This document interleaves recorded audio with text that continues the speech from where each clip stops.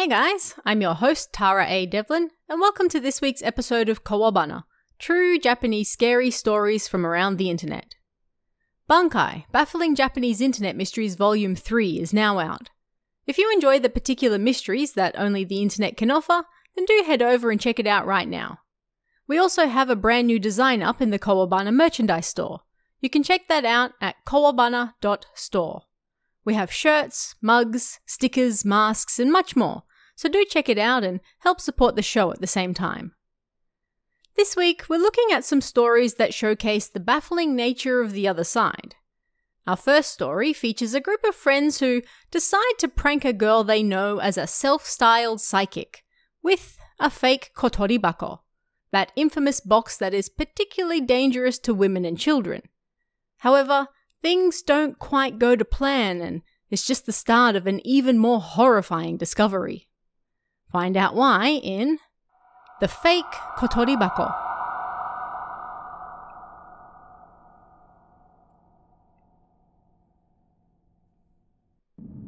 I've been feeling kinda nostalgic about the Kotoribako lately, so let me tell you a little story. Right around the time the Kotoribako story was really popular, one of my friends said he wanted to play a joke on one of our friends, a woman who, by her own words, possessed psychic powers. To cut things short, we made a box that looked just like a Kotoribako, and then we planned to use that to scare her. Yeah, it wasn't exactly a joke in good taste. Now, normally somebody might try to put a stop to something like this, but this self proclaimed psychic had put us through a lot of nonsense in the past. In the end, someone other than the friend who suggested it went ahead and made the fake box. This guy was rather unassuming and didn't especially stand out in any way, but he was good with his hands and often made jewellery and such by himself. So, this friend, he bought not a box exactly, but like one of those containers they use during tea ceremonies from a second hand store, and he managed to turn it into something just like a kotoribako. Then it was up to the guy who suggested the whole thing to claim that he found it hidden in his storehouse. I think we spent about a week preparing the whole plan. So, when we were out drinking with this self proclaimed psychic friend one night, he suddenly brought the topic up. So, when I went back to my parents' home, she was immediately intrigued. Oh, yeah! I heard a scary story on the internet just like that, said another friend, adding a little more information to draw the psychic in. That friend's family home used to be a samurai residence in the past, so the story was rather convincing. And the guy who made the box joined in with the psychic, acting like he'd never heard of it before. Another time, we all gathered at a family restaurant to discuss another friend's upcoming wedding. Oh, yeah, so about that thing I told you about last time, that weird box in the storehouse. I brought it here today, my friend said, and then produced the fake Kotoribako. What the hell? That's dangerous! The psychic suddenly screamed.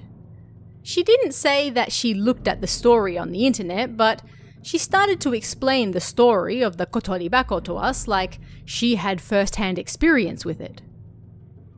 That story is fake, I said, ignoring her. Why don't you try opening it? It was my job to get her to open it, and I knew what was inside. Again, it's a little in bad taste, but the inside of the box was just like the story as well. But fake, of course. We got some prank toy fingers from the toy store and painted them like they were covered in blood. And I mean, if you think about it rationally, if they were the real thing, then they would be dried up, right? At any rate, the self proclaimed psychic actually trembled and watched over me anxiously as I went to open the fake box. Stop! some of my friends screamed. Do it! screamed others. Everyone was getting worked up, and I placed my hand on the lid of the fake box. But I couldn't open it. It was like it was stuck. I turned to look at the guy who made it before I could stop myself, but he looked just as confused. As I was still trying to force it open, suddenly somebody approached us. You mustn't open that, they said out of nowhere. I turned around and a man who looked half Japanese stood there. He grabbed my hand and removed it from the box, then glared at us. You don't need this, do you? I'll take it off your hands, he said, and then left the restaurant. The rest of us just sat there, dumbfounded. What the hell was that?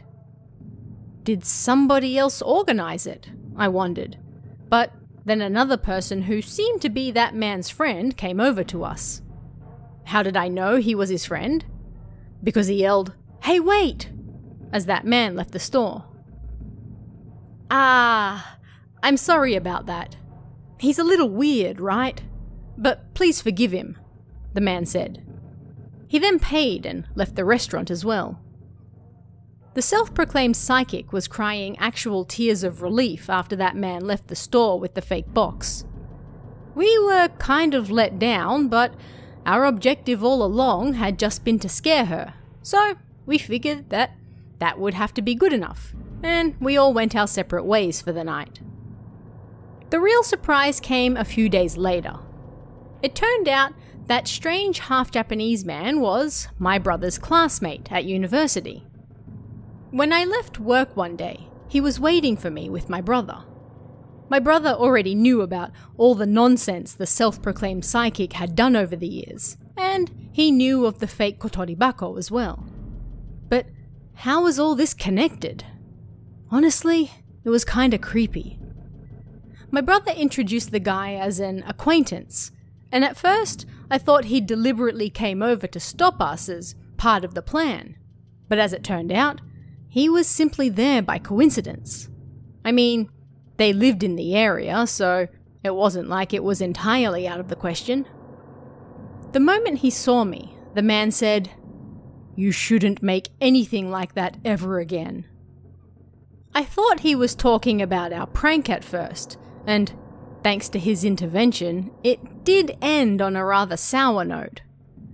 And so, feeling embarrassed that someone younger than me was telling me off, I nodded. Yeah, I won't do it again. The man sighed. You like the occult, don't you? If so, then you must realize that truly dangerous things do exist, right? A chill ran down my spine.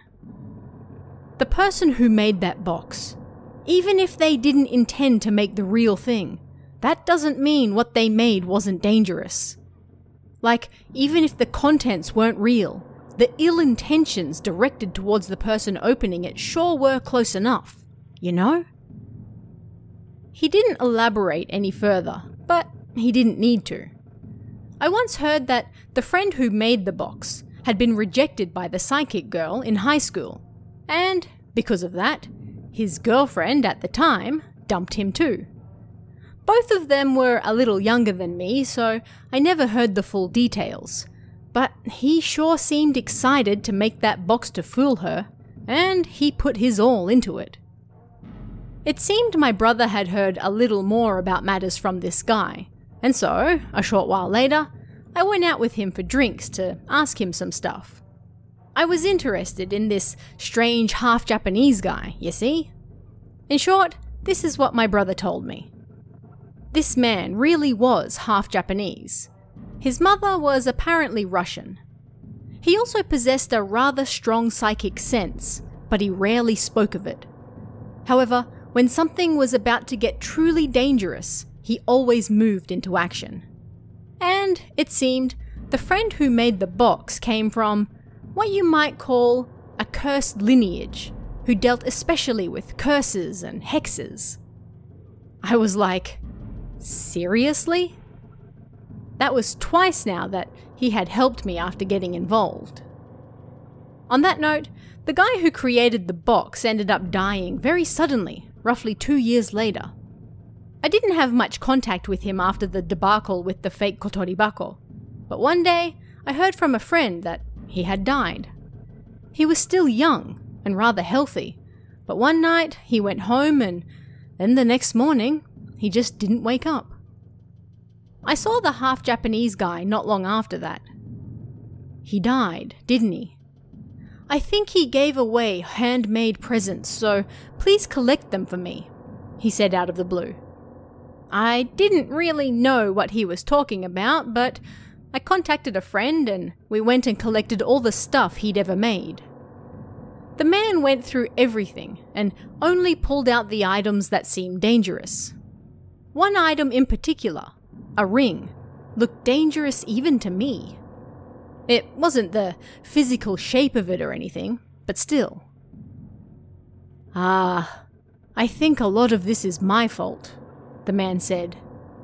I think he realized that what he was making was the real thing after our interaction with the box. That's probably why he died so young as well. Luckily, I kept my distance from him after that night with the box, so I didn't know much of what was going on. But apparently, that friend started making even more jewelry after that night, and really put his all into it. The guy who received that dangerous ring was a friend of ours who, it seemed, had married the boxmaker's crush. The whole thing was no laughing matter, honestly. Even if you don't know it yourself, the blood you inherit from your ancestors is nothing to be made fun of, the half Japanese man said. For some reason, that line in particular really stuck in my mind. I heard that the half Japanese guy is somewhere overseas now. I feel like I might hear from him again sometime in the future. But I'm not sure how I feel about that because if he does contact me, it undoubtedly won't be for anything good. Oh, yeah, so the second time he helped me was actually rather recently. Maybe roughly two years ago now? The younger sister of one of my colleagues died in a traffic accident, and after that, her spirit started to appear by his bedside. He visited various temples and shrines, but nothing worked, and day by day he was falling more and more ill. And so, that half Japanese man suddenly showed up one day and stayed with him for a bit. After that, all the strange phenomena stopped. Not everyone can see ghosts. It's an ability you just happen to be born with. At least, that's what the internet would have you believe. And the woman in this next story finds out that perhaps she is one of those people. Find out why in When I Saw It.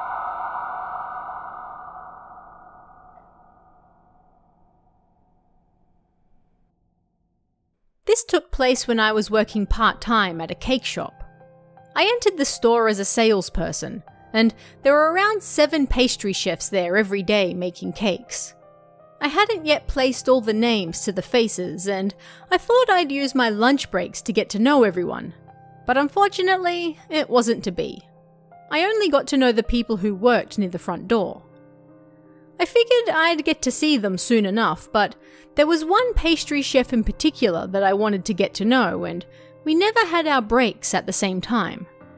I started to question when on earth this person was taking breaks. When we were done closing up store for the day, everyone left at the same time. Is everyone out? I'm gonna lock the changing room now, okay? I called out, and then confirmed everyone was there. I was about to leave, but then I realized that I hadn't accounted for the chef who always worked near the front door. Hang on, we're still missing one person, aren't we? I said, and everyone looked at me blankly. That woman who always has her hat pulled down really far. You know, the one who makes cakes by the table near the front, I explained. Doesn't sound like anyone who works here, the others replied. But I was sure she was working with us until just before shop close. Huh, I thought. But I didn't want to drag things out any further, and so we all went home. I had been looking forward to getting to know the chef who had been making cakes all day without break. But after that, I never saw her at that table near the door again. She was gone, just like that. Like everyone saying she had never been there in the first place. And that was the first time I realised that what I had seen might actually have been a ghost. Several months passed, and my last day of working at that cake store arrived. The store manager worked beside me as we sold cakes. I turned around to look in the baked goods section as the store started to get crowded, and I saw the back of the manager's black uniform. I thought the manager must have walked over there, so I continued serving customers. But then I realised the manager was still right beside me. It seemed there were two of them in the store. Surprised, I looked at one of the pastry chefs through the glass and gestured with my eyes. But the leader just smiled at us in the sales area. It seemed I was the only person who saw this second manager. Ever since then, I sometimes see people that only I can see. Sometimes I also see people who very much look like someone who is dead. I haven't again ever seen two of the same person like the manager though. Usually, I don't even realize it until later because they look just like a normal person to me. I think they're probably ghosts, but they're different to people because they don't talk. If you try to talk to them, they disappear. They also disappear when I tell others about their existence as well. I think Contrary to expectations, ghosts are all over the place, but it's just that most people can't see them. Ghosts don't just linger in a particular place in Japan. They can also attach themselves to people and objects. For the woman in this next story, her childhood was especially painful because of, well, her father buying cheap lumber to build their family home. Find out the horrifying secret behind it in The Family Home I Didn't Want to Go Back to.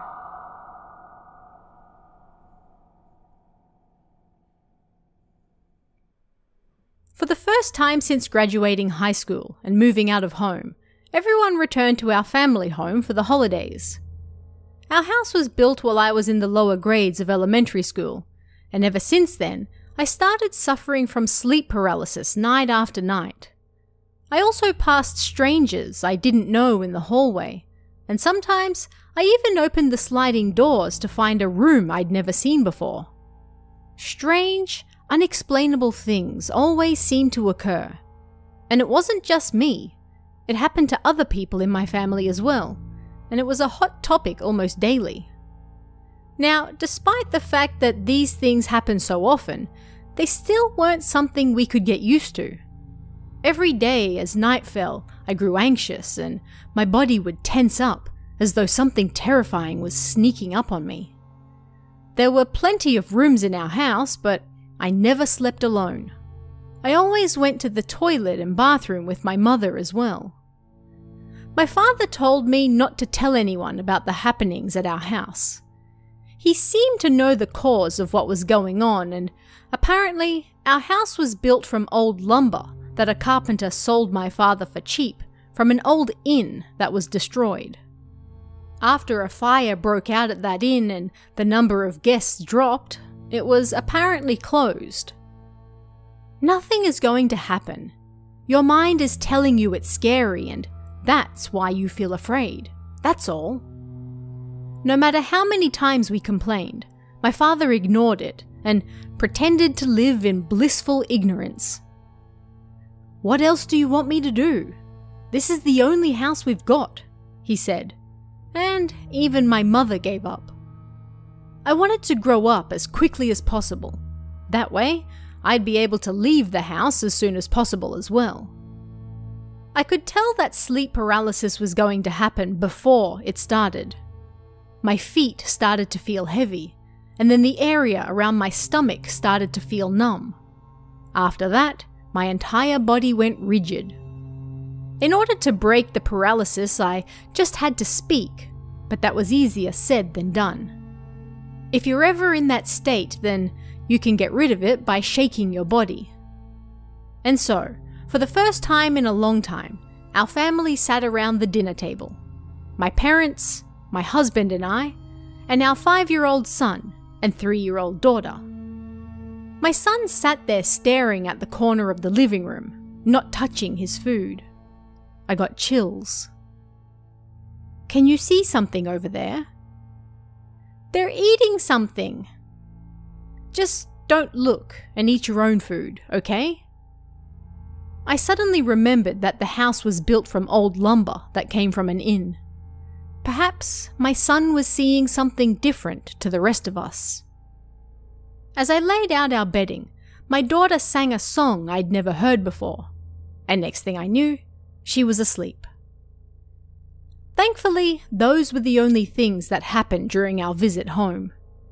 And when morning arrived, I was flooded with relief, a feeling I was familiar with from the past.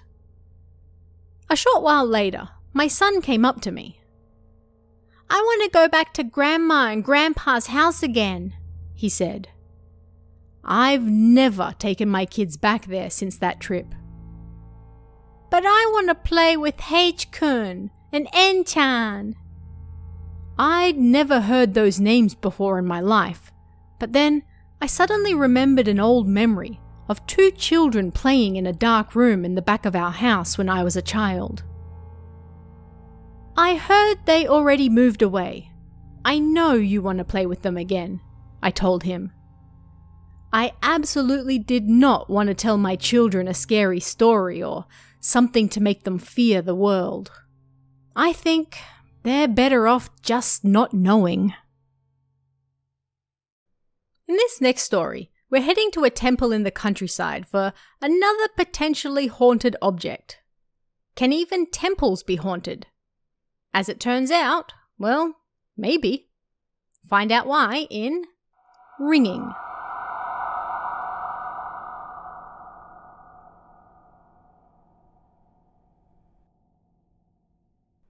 So, I'm a monk who has written here before, and I'm back to kill a little time again. I was born and raised in a temple, and most of the families nearby are our parishioners. I may be young, but I am a fully grown man and the chief priest of our temple. Ever since my first supernatural experience, it's become a hobby of mine to collect similar scary stories, especially those that revolve around temples. As it was with my previous experience, and that of other monks who are older than me, it seems that most scary stories involving temples are related to sounds and this particular story is one I heard from the colleague of a colleague, a monk called H-san. H-senpai was just shy of 40, and the second son of a rather large temple in the Kanto area. He worked for many years as office staff at a university connected to our sect, but then one day he got a call from a temple without a chief priest. Won't you come and be our chief priest? They asked him. And so, that was how he came to live all the way out in the countryside, just like me. It was about an hour's drive from where I lived, a somewhat well developed area with a brand new temple building as well. If a brand new young priest is going to come, then we need a magnificent brand new building as well, the parishioners said, and they pooled all their money together to build it. This moved H. Senpai so much that he promised to do his best to fulfill his duties as the new chief priest. And it was he who proposed a study meeting for new monks in the area so we could exchange ideas and information as well. As he was explaining something about the inner sanctum during one of these meetings, I noticed something rather odd. There is a position called an ina, someone who is in charge of the large bells and gongs used during ceremonies. And so, next to the ina's chair, I saw a rather large, coiled up rosary had been enshrined there. An ina watches movement in the inner and outer sanctums during ceremonies, and he's in the position of both conductor and performer, so to speak, and keeps the ceremony moving forward with the appropriate timing. He's kind of like the lead guitarist, or the concertmaster, I guess. So then, that would mean the officiating priest would be the lead vocalist then? Uh, I'm getting way off track here. Naturally, the inner seat is located close to the center of the main hall, and from there, it can see pretty much any point in the building. There was a massive rosary there, one of those so called million prayer rosaries. These particular rosaries originate from a famous temple in Kyoto. The temple's chief priest quelled a plague that spread in Kyoto at the end of the Kamakura period by reciting the Namu Amida Butsu prayer a million times. And so, people got the idea that if everyone prayed, rather than simply one person, then Buddha could be lauded even more. And so, a large number of people gather in a circle and spin these beads, which are about the size of a baby's head. As they pray more and more, the speed gradually gets faster, and in the end, it kind of feels like they're being pulled alongside the beads. It's unknown when the prayer will end, and as it repeats over and over, you build a sense of camaraderie with those near you. Then, when you finally let go, everyone there has this indescribable sense of unity. If you ever get the chance, you should try it sometime. H Senpai, is that? Now, it's not like this type of rosary is so expensive that it would make your eyes pop. And although it might be difficult to find a place to keep it, you can find them in pretty much any temple as well. It's the type of thing that you find yourself just staring at. That's the impact it has. How can I put it? It certainly makes you feel the changing of the times. It really was perfectly coiled like a snake, around and around, with the head bead, the largest, sitting right at the top. And from that, a string poked out, making it look like a snake sticking its tongue out. This was a gift from an acquaintance, he said. Normally, I only use this one. He pointed to a much smaller rosary that was just lying on the floor. It was a common rosary made of plain boxwood. But what was it about this one? It was kind of brownish, maybe reddish purple, and kind of gleamed a little. At a glance, it was hard to tell if it was made of wood or not. I touched it, and yeah, it probably was wood. It was cool and kinda heavy. Maybe it was coated in something. It's rather heavy, and that makes using it quite tiring. But having said that, I felt bad about hiding it away as well. When I asked, he said it was a present from an overseas monk he got to know when they worked together at the university. H Senpai was tasked with looking after the monk when he arrived in the country, and one of the things they spoke about was H Senpai becoming a chief priest. He apparently remembered that conversation. I received this giant wooden box, so I thought Maybe a jar was inside, but it was packed full of beads. So he had to thread every single one of those beads by himself? The thought alone made me tired. Several people stared at it, including myself, like, huh, that's quite curious, isn't it? At that, H Senpai seemed to blush, or maybe smile wryly. Curious, isn't it? He muttered with a strange look on his face. It sure was a sight. After the meeting was over, I thought he might need help cleaning up, so I offered my services and once again asked him about the rosary. The beads cry, you know. At first, that was what I thought he said. But after talking a little more, I realized that wasn't quite what he said. They make a ringing sound. I still didn't understand though. It was a bunch of wooden beads with string through them. If they were going to make a sound, then it would sound like a clacking or something, right? But H. Senpai shook his head. It sounds similar to a bird's cry. At first, I thought maybe it was a puppy or a kitten. Apparently, stray dogs and cats were common on the temple grounds, so that was why he thought that at first. I always hear it at night, but it's not really the season for dogs and cats, nor is it the time birds chirp either. He couldn't hear the noises in his living quarters, but when he walked around the temple at night, checking the lights and fires, he could definitely hear it. It was a sharp sound, nothing like a whistle or a hiss, that he could hear intermittently coming from the corner of the building. And considering that it was a brand new building, it was unlikely to be the wind coming through old gaps. Thinking it might be electrical in nature, he turned off the breaker, but the sound didn't stop. Was it coming from beneath the floorboards? No, it was definitely coming from inside the building, and more precisely, from beside the Inna's chair. I know where the sound is coming from, but I don't know the source. If I lift the rosary, the sound stops. But when I put it back, it starts again before long. It's just regular old wood, right? It's just regular old wood. He said that it wasn't causing any harm, so he planned to just leave it be. But as he sighed and puffed on a cigarette, he looked awfully tired. I didn't want to keep prying, but at the same time, I didn't think I'd be brave enough to find out for myself either. Yes, I was curious, but I didn't want to be rude to my elder, who was being very serious about the matter. So I left with a rather bad taste in my mouth.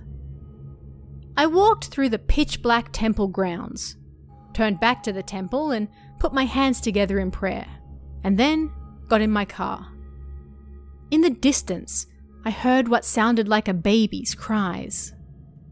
The sound got more and more distant, sounding almost like a Japanese tit. For this next story, we're heading over to a shrine to hopefully break a long unlucky spell the narrator has been having. But will it all go according to plan? Find out in First Shrine Visit.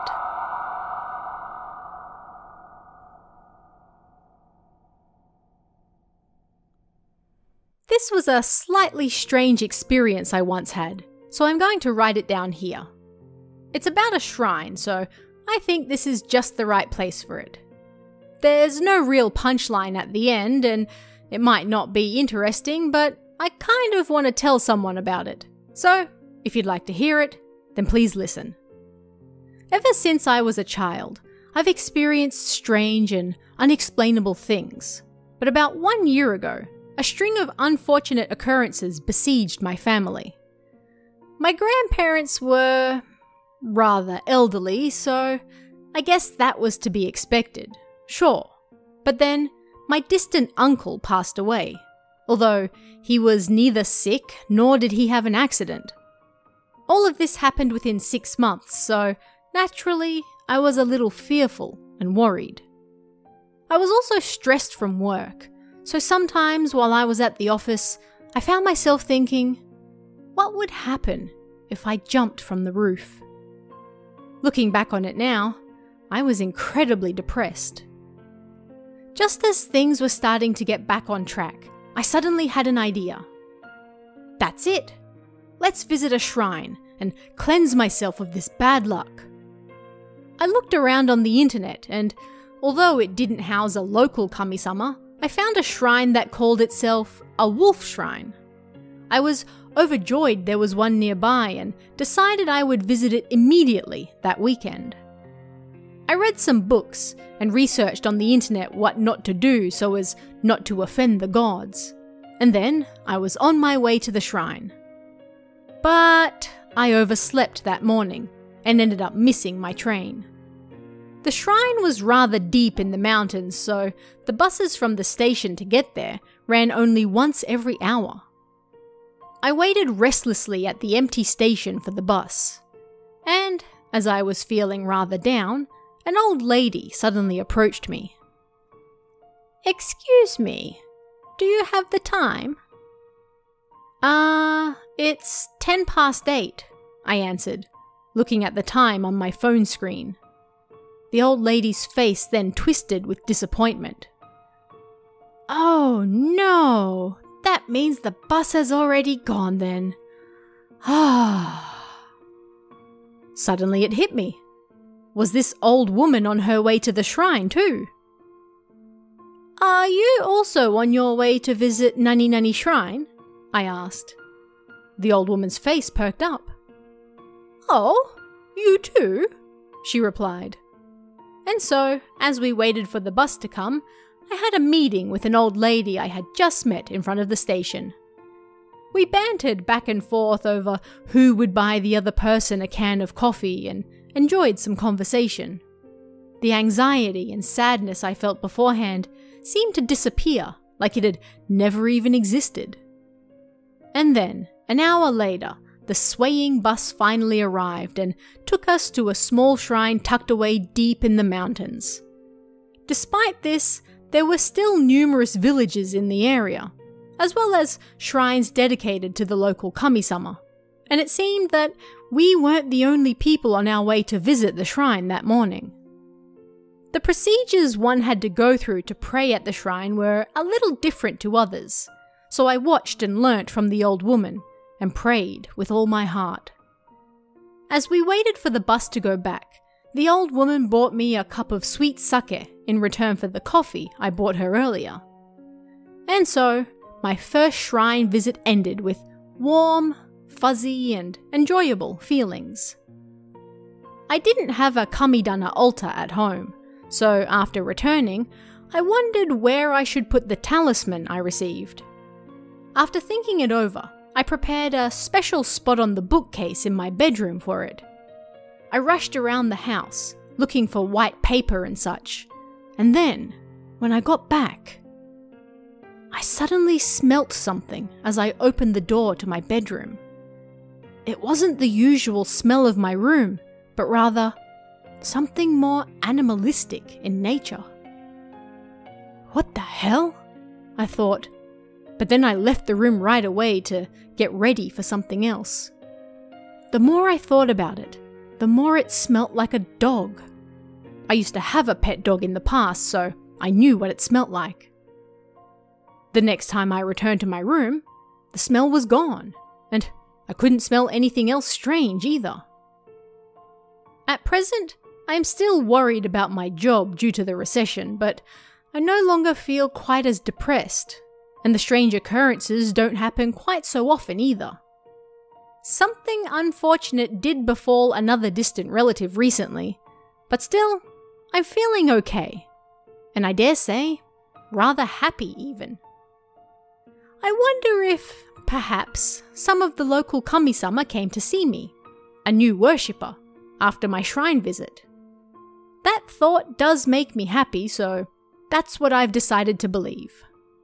Sorry this was a little long, but thank you for listening.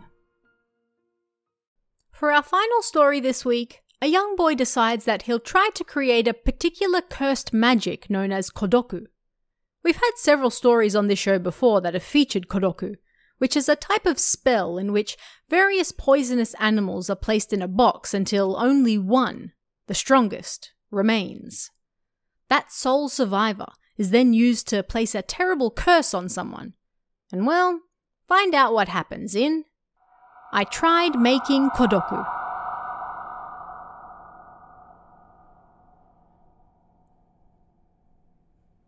This happened when I was around 10 years old. When I was a kid, I was a bit of a brat, if I do say so myself. And although I lived in the countryside where there was nothing to do, at least nature sure was abundant. And so, I was the kind of kid who had fun by throwing frogs into trees to kill them, pouring boiling water on ants, and so forth. There were living things everywhere, and I don't know, I guess killing them was fun. But now, I can't even look at bugs, let alone touch them. And the reason for that is Kodoku. You often see kodoku in manga and stuff like that, so maybe you're already aware of what it is. But it's when you gather a bunch of insects, snakes, etc., and put them all in a fixed spot until they all kill each other and only one, the strongest, is left. You then use the strongest survivor to make a strong curse to kill someone you hate. And so, I tried doing that myself. Now, I only did this because I saw it on TV or something. It wasn't like I actually wanted to curse anyone. I was like, wow, the animals will fight each other and only the strongest will be left. That's so cool. I didn't take it very seriously at all, and I tried my hand at actually making kodoku. I was on summer vacation, and so I had a lot of free time. I tossed whatever I could find into a plastic case. From what I can remember, there were grasshoppers, praying mantises, ants, spiders, drone beetles, stag beetles, crickets, frogs, lizards. And for whatever reason, I tossed in grass and empty cicada shells as well. I heard that you were supposed to collect poisonous creatures, but, well, I was just a kid after all. And so, after half a day's hard work collecting bugs, naturally, the inside of the case was a mess. Things had piled up all over the place, and it was like a massive traffic jam. I was so grossed out that I couldn't look directly at it, so I later buried the whole case in the backyard. Having done that and Feeling good about myself, I forgot about the case for a while. It was almost the end of summer vacation when I finally remembered it again. I went into the backyard that day and dug up the case. Naturally, I was a little scared of what I might find. It would no doubt be full of dead bugs, right? But when I dug up the case, I didn't find quite what I expected. Other than some of the grass I'd put in there, the whole thing seemed to be full of dark, muddy water. It had rained while it was out there, so maybe I hadn't put the lid on tight enough. And then, when I opened it, I saw it the sole survivor. I couldn't tell what it was, but it was moving around really fast. It was jumping around or something, and then it jumped onto my arm, and I felt a sting of pain. It must have bitten me.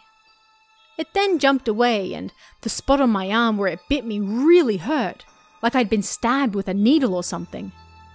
I was so surprised that I dropped the case I was holding.